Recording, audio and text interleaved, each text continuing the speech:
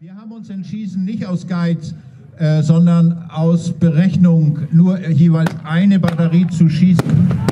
damit Sie auch den echten Effekt aus den Batterien sehen können und nicht verwischt werden durch zwei oder drei gleichzeitige.